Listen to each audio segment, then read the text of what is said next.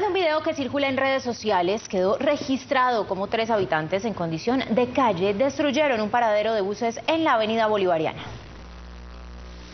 Este es el video que da cuenta de los actos vandálicos de algunos habitantes en situación de calle contra el paradero de buses que se encuentra ubicado en la avenida Bolivariana subiendo hacia Belén Ángeles.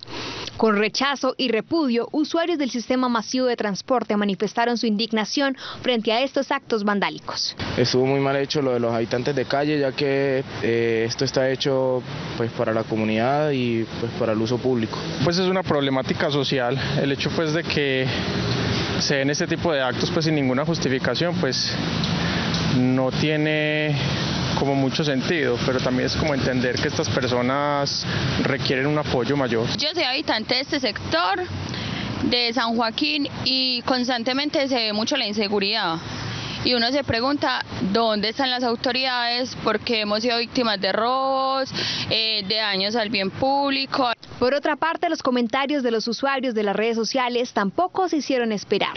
Alcaldía de Medellín, ¿para qué sirven todas esas cámaras del 123 si nadie hace nada? Insisto, la ciudad está acéfala.